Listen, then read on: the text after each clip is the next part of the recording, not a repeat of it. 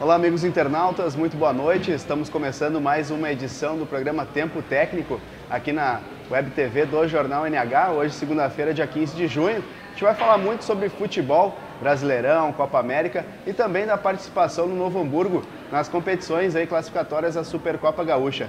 Comigo hoje, José Roberto Dil, jornalista aqui do especial da BC Domingo, o apresentador do Arquibancada Tricolor Paulo Lângaro e o nosso convidado especial da noite, o Pete Abilhar, que é ex-presidente do Conselho Deliberativo do Novo Hamburgo, conselheiro atuante e um representante aí da diretoria do NOIA aqui com a gente hoje à noite. Tudo bem com vocês? Muito boa noite. Boa noite. Boa noite. Boa noite. Boa noite. Então tá, a gente começa falando aí eh, do jogo do Inter, né? A derrota do Internacional por 2 a 1 para o Corinthians, né? No sábado. A gente, o Inter saiu na frente com, com o gol do Nilmar, mas sofreu uma virada aí que culminou aí mais uma derrota do Inter no Brasileiro. O Inter continua engatinhando na competição. Gil, o que, que tu tem a falar pra gente aí do, do Inter nesse jogo? Engatinhando e também com essa sina aí, né, de já mais nos últimos tempos de ganhar do Corinthians, né? Tá virando uma chacota nacional essa história do, do Inter e do Corinthians. Né? Freguês né? já. Né? Freguês, né? O Inter virou freguês do Corinthians. E parece que também, pelo lado do Corinthians, o Corinthians, ele Parece que tem campeonato à parte com, com, com o Inter, né? É, é, o Corinthians não ganha nada, mas que se ganha, ganha do Inter para estar satisfeito. Mas nosso problema aqui é o Inter, não é o Corinthians. Né? Eu acho que realmente o Inter até no primeiro tempo com, conseguiu controlar. o Inter foi bem, na verdade, bem, toda a partida, foi, teve várias chances teve de chances, gol, né? né? Teve chances, teve, teve um, um, inclusive, o gol foi muito bonito, né? Aliás, dois gols bonitos, né? Jogada, jogo, né? Os iniciais da jogada, né? Do Rafael Moura, que para muita gente não, não serve, né? É, mas teve ali um, um, um toque de, de, de, de não digo de gênio, mas Sim. de bom jogador e deixou o Neymar fazer um belo Teve gol. o golaço de falta do Jadson, né, Gil? E, e, também depois Wagner Love marcando o gol. Paulo César Langaro, do Internacional aí, que, que tu acompanhou também para o Jornal NH desta segunda-feira.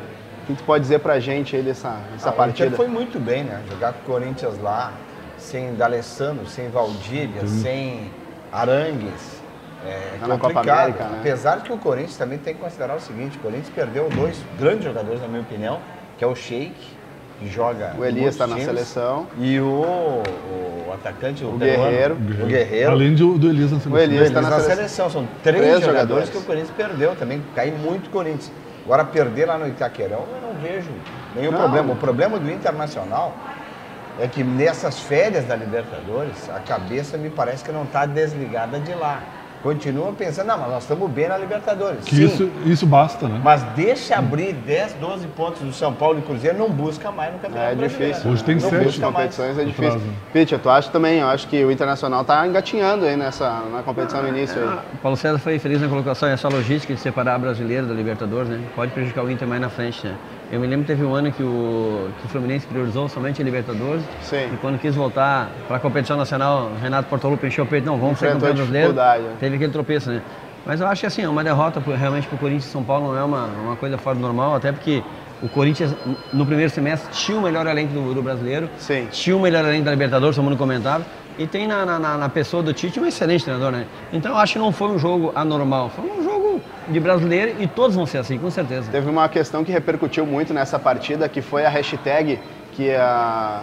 o pessoal colocou no, no telão lá do, do Itaquerão, que foi a hashtag põe no DVD né, que ficou, pegou muito mal isso aí para a torcida do Corinthians, ok, mas pro time, pro clube fazer isso, eu acho que fica complicado, Pitcha. Tu que és uh, dirigente, foi dirigente, acho que isso também não é uma conduta certa do clube. Não, né? não, sem dúvida, isso passa por uma questão administrativa, né? Eu acho um total desrespeito com qualquer clube, pode ser o A, pode ser o B pelo C, não, não, não existe isso aí, cara. Eu acho que nós temos que valorizar. Hoje é tão difícil criar dirigentes novos, né? Mas isso é uma prova de total incompetência deles, né? Colocar a torcida contra o, os próprios jogadores nacional. Acho que a nível nacional ficou muito ruim isso aí. Mas o presidente do Corinthians, né, e o próprio Tite pediram desculpas, né? Que não passou por eles determinação é, nenhuma em relação Mas foi uma brincadeira de mau gosto. De mau gosto. Né? Assim, mau gosto. O clube não, Inter... Se for na arquibancada, uma faixa ah, da torcida, sim, tudo, tudo bem, bem. torcida. Mas era, era torcida, o, né? no, no maior painel é, que tem na América Latina, né? É, o Mas o telão passa por uma questão administrativa, né? Então, realmente, internamente, alguém sabia que ia ser colocado. É impossível, né? E de administração, já que o Pete entende, também conhece o cara aí que está levando o Grêmio a uns resultados interessantes aí no Campeonato Brasileiro, que é o Roger Machado, né, Pitcha? O, o Grêmio conseguiu vencer o Atlético Paranaense 2 a 1 está subindo na tabela, está com 11 pontos já. E o Grêmio jogando bem com o que tem ali, que a gente sabe que é um time limitado. Tu conhece o Roger, Pitt, aqui que pode falar pra gente aí? Olha, gente, eu já trabalhei com grandes treinadores aqui no Rumburgo, já trabalhei com o Gimarize, já trabalhei com o Itamar Schuller, já trabalhei com que estava no Chapecoense, o Gilmar do Alpozo, né? Então a gente teve vários treinadores. Agora, é, um treinador com coerência, com inteligência e que tem um vestiário na mão se chama Roger Machado. Eu fiquei muito contente com o Roger aqui no Hamburgo, porque, primeiro, ele nos trata assim como uma pessoa, um ser humano fantástico. E não é só o Roger, a nossa comissão técnica toda, o auxiliar dele, o Roberto, o, o Daniel Franco, o próprio Márcio Vitória. Então nós tínhamos uma equipe muito boa na comissão técnica. E ele é um cara que se preparou estudou para isso. isso. E se é vocês acham que vocês não têm o, que o Roger não tem vestiário na mão, vocês estão muito enganados. O Roger, para começar, ele é muito disciplinador e no momento certo ele tem atitude. Agora, quando acabou o galchão, a primeira coisa que o Roger fez, uma semana em São Paulo com o Tite e uma semana com o, com o Arce no Paraguai. Então, é um cara que estuda, ele se preparou para isso. Na semana, véspera da contratação do Grêmio, eu falei com o Roger, ele disse, pá, Pitch, e aí? O telefone nem toca, Pitch. Tive uma sondagem, que foi um amigo meu lá no, no Fluminense que indicou meu nome, aí, aí contrataram o, o, Anderson. o Anderson Moreira, né? Foi só que surgiu, o Grêmio nem me ligou.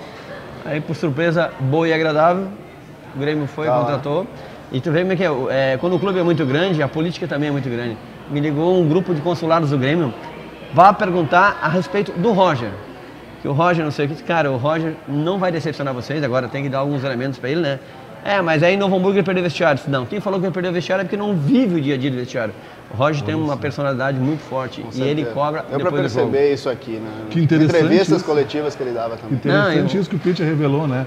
É, opositores, talvez, ao Grêmio, certamente, né? A direção procurando alguma coisa lá no Novo Hamburgo que pudesse minar a contratação do, é, do, do, do Ele já estava contratado, Futebol, mas eu sempre apresenta. falo, o, o, clube grande tem as mesmas dificuldades do time interior. Só que as entradas do time grande, comparado com o time pequeno, ela é muito grande. O problema está lá, mas ele não aparece tanto como aparece no interior. O interior normalmente tem uma receita menor, aliás, tem uma despesa maior do que a receita, Sim. né? Então, mas a política no time grande é maior, né? Mas eu fico contente que ele está bem, é um cara que merece, né? E agora na quinta-feira eu conversei com ele. Agora eu vou fazer o, o jantar baile de aniversário comemorativo 104 anos. Se ele estiver aqui, se prontificou a vir com a esposa.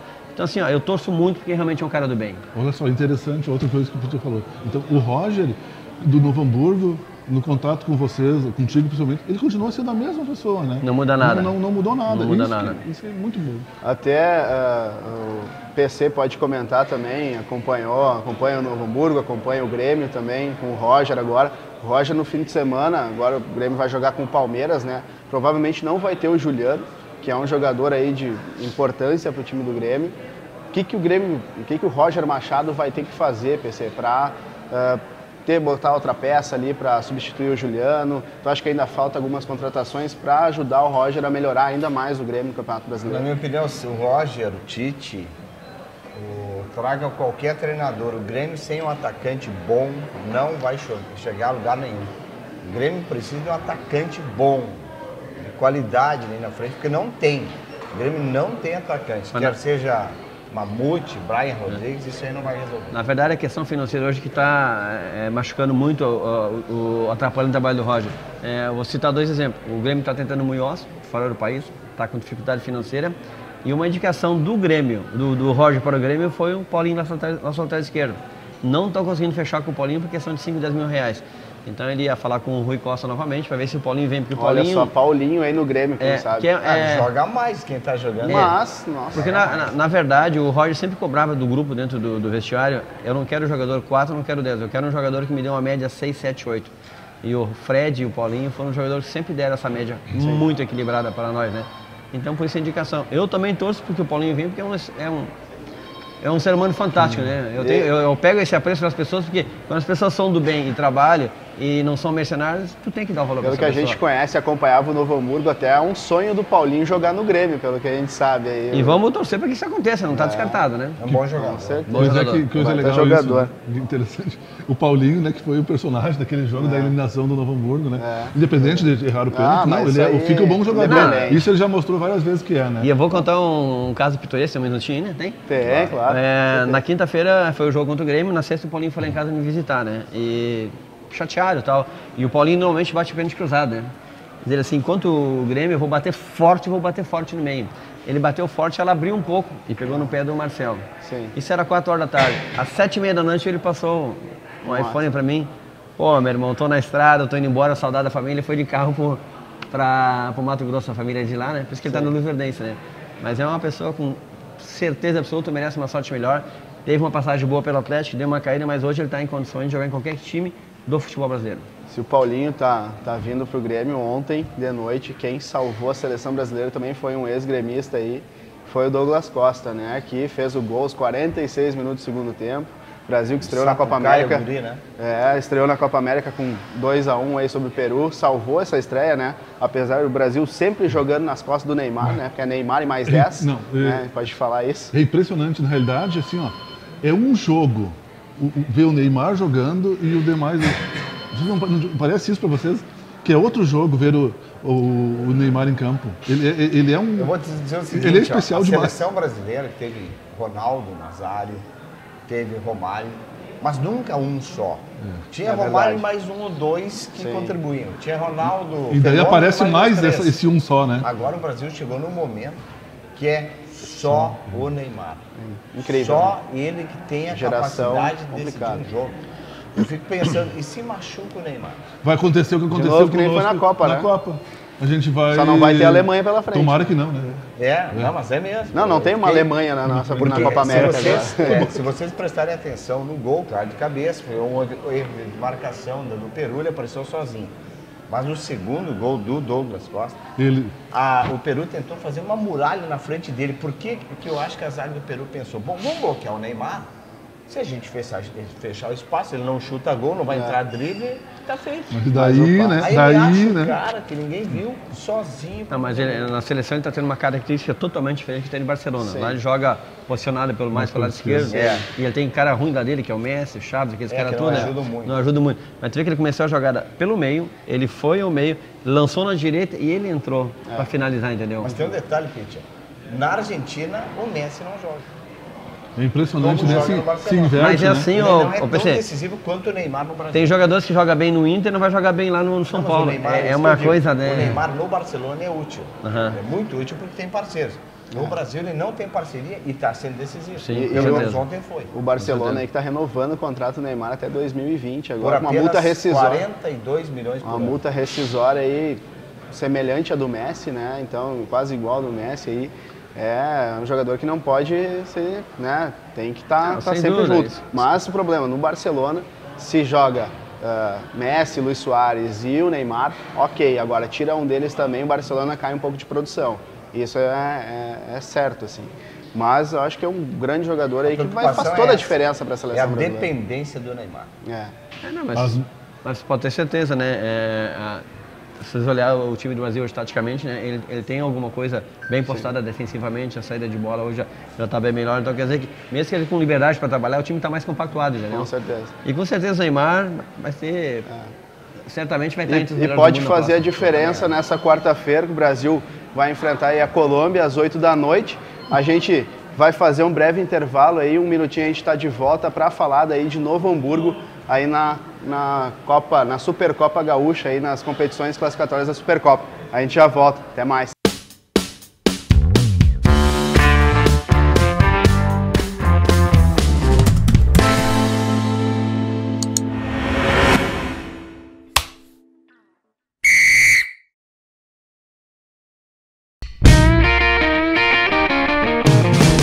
Novos programas, novas vinhetas e muitas informações. Na nova grade de programação da Web TV do Jornal NH tem esportes, saúde, entretenimento, debates e notícias para você viver melhor e ficar por dentro de tudo que é destaque na sua região.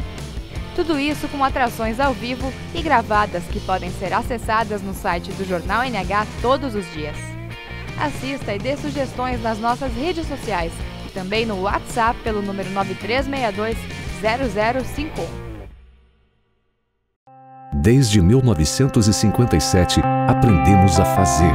Fazer diferente. Fazer de novo se for preciso. Nossa missão é promover o desenvolvimento das comunidades onde atuamos. Se somos líderes em 54 municípios, é porque vivemos a realidade de milhões de pessoas. Somos assim, conectados, comprometidos, atuantes. Somos multiplataforma. Somos o Grupo Sinos.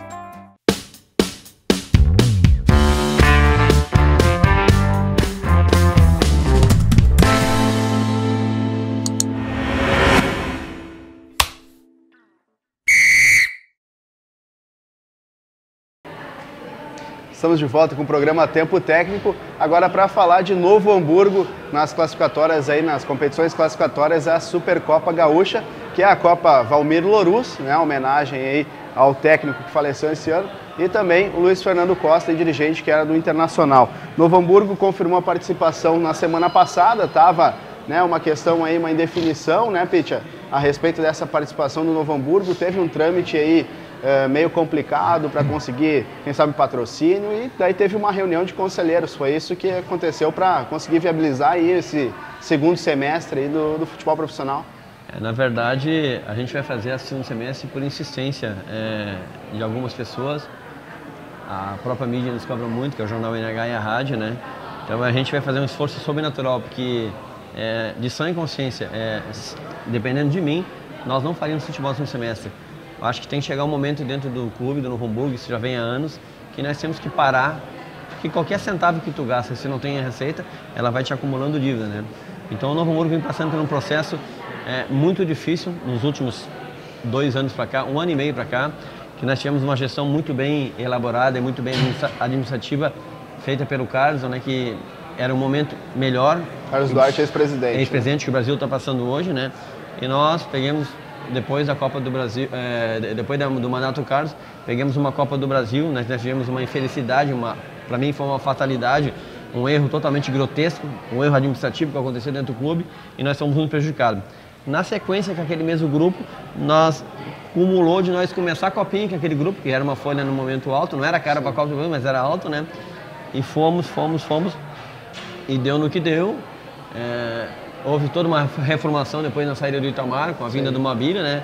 Com uma proposta totalmente diferente. Aí tu tá com uma diretor, diretoria nova, tu tá com sangue novo.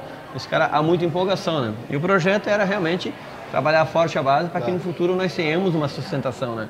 E isso infelizmente não aconteceu, né? Quer dizer, aconteceu em parte que o Mabília fez um bom trabalho na Copinha, mas a Copinha ela foi muito deficitária tecnicamente. Eu acho que foi um, ela foi assim um divisor de águas que, que nos enganou que a gente fez contrato com vários jogadores naquela ocasião. Ah. E agora no Galchão se viu que eles não deram o retorno que a gente precisava, né? Entendi. É, o, Novo Hamburgo vai jogar essa copinha, vai jogar agora essas duas competições, provavelmente com essa sub-20 e talvez com alguns jogadores que têm contrato. Tem, poderia dizer pra gente alguns jogadores com contrato ainda? É, hoje a gente tem é, jogadores com contrato até final de 2015 e 2016 Tirando o João Henrique, que era até mês que vem, foi agora para o Operário de Ponta Grossa, né? Certo. É, vai trabalhar lá com o Itamar o Gersinho. Itamar. É, nós temos o Jandrei, com contrato até final do ano. O Celcinho até final do ano, agora também, lateral direito. O Brito até final do ano. Nós temos o Werley, o volante, até final do ano que vem. O Lucas Santos também até final do ano. Lucas Crespim, que é irmão do João Afonso, até final do ano que vem. Então nós temos ali uns oito, nove jogadores que estão com contrato que a gente está tentando emprostar. Porque nós não temos condições de barganhar um salário de gauchão na copinha, né? Sim. Então o Matheus, apesar de estar fora do futebol, juntamente com o Vladimir, pelo relacionamento que ele tem com os empresários, e agora nessa negociação que ele tem com o Magrão, que fizeram uma, uma parceria junto, temos tentando emprestar esse jogador. Só que está complicado, segunda ah, divisão ah, impossivelmente, tá né? Uhum. E se tu não tem um, um, um bom feedback para argumentar, vai ser complicado. Então a gente vai tentar tirar o que dá e se ficar alguns a gente vai mesclar com os guris, né? As competições começam agora no início de agosto, dia 2 começa a Valmir Lorus, que é o Novo Hamburgo está no grupo B, né, Pitya? Junto com o Grêmio, Cruzeiro, Juventude, o Brasil de Farroupilha. E no dia 5 de agosto começa também a Luiz Fernando Costa, que o, o adversário também vai ser o Brasil de Farroupilha, mas essa competição é mata-mata que dá vaga para a Copa do Brasil. E depois, se classificar em alguma delas, vai jogar a Supercopa para disputar a vaga na Série D, que sempre foi, a gente falou aqui, do sonho do Novo Hamburgo. O que, que o Dil pode é, quer comentar? A gente tem aqui a, a bandeira do Novo Hamburgo, né? Aqui, as pessoas aqui, eu, PC, Pitch, a gente gosta muito do Novo Hamburgo, né? Gostamos, é, gostamos. É, não, também me incluo. Também bastante do Novo Hamburgo. Né? Tá aqui a bandeira hoje, uma forma de, nossa forma de homenagear o Novo Hamburgo. Né? A gente quer o bem do Novo Hamburgo. Mas parece que muitos, Novo Hamburgo é querido por muitos, mas poucos conseguem.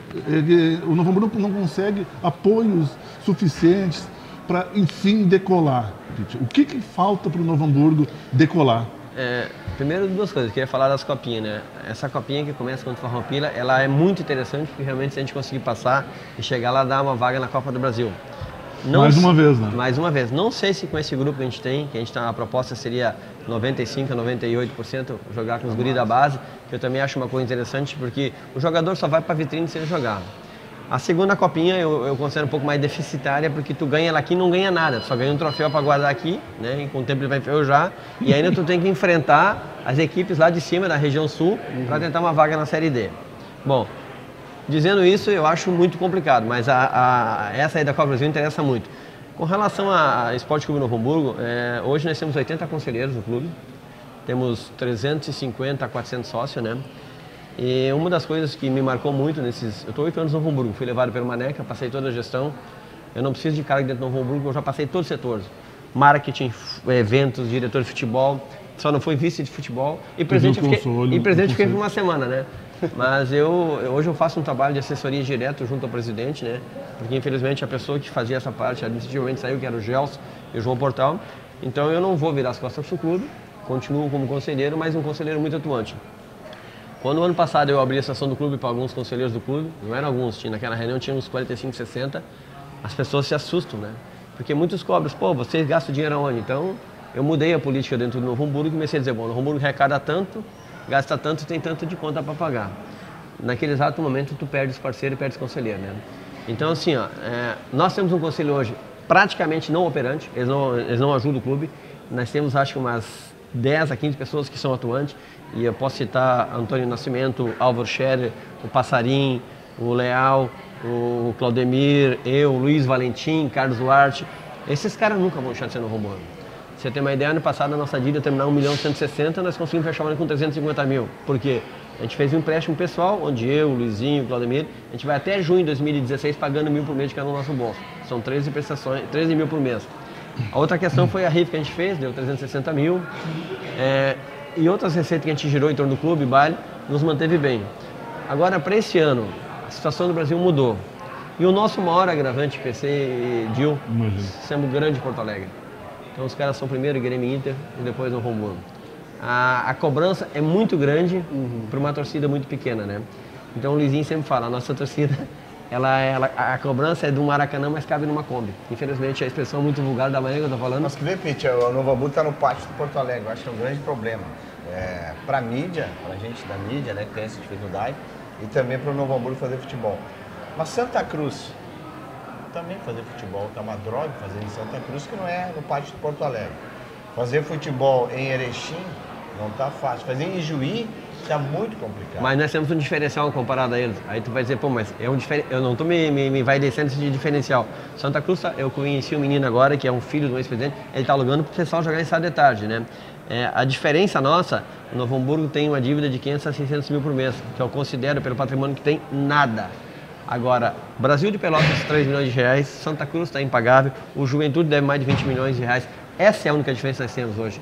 Nós temos uma administração um pouco mais enxuta e mais centrada. Agora, infelizmente, o interior vai acabar. A dívida gera em, em torno de quanto agora, Pete, aqui no, no Ah, hoje nós estamos em torno de 600 e poucos mil, né? Porque tu vai, ela vai passando dia a dia, se tu não consegue receita, uhum. vai acumulando, né? Sim. Então a gente tem viabilizado algumas coisas, tem nos ajudado, o Fundex é, tá para chegar agora, isso praticamente ele faz uma captação para alimentação e para ônibus, né? já está comprometido. Time Mania, a gente fez um trabalho fantástico, fizemos uma prestação de conta de 5 anos, retroativo, entrou em janeiro 230 mil reais, Fiz novamente agora um trabalho contábil, né, que foi publicado no Jornal NH semana passada. Nós temos apto a receber mensalmente Timania.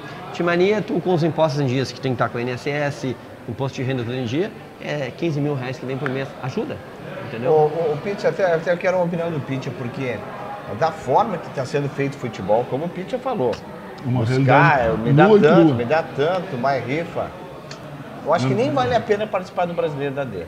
É, Dessa não vale, forma, não. Vale. Não, assim, não, tem que entrar, não, tem que entrar forte. Titi, né? Se não mudar a forma de administrar o clube, assim não vai dar. Não, Titi, com certeza, Paulo César. Hoje, se, se, nós tiver vaga na D amanhã ou depois de amanhã, o Rumor não tem estrutura financeira e administrativa participar. Pois é. Não existe. Pois é, essa é a minha preocupação. Copa Bom, do Brasil é diferente. é, Um exemplo que eu, que eu fiquei sabendo por alto, assim, o operário lá de Ponta Grossa, que está o Gerson e o Itamar. Perfeito. É uma forma quase que similar ao do Novo Hamburgo, que é alguns empresários, o número X de Uma, empresários. uma que cidade mais ou menos parecida. né? Exatamente, disponibilizam X cada um para bancar o clube. Operário, se eu não me engano, que até foi comentado, o Gerson, O eram Gerson cerca de comentou 40 empresários da Certo. cidade. Ou seja, a fórmula não sai disso.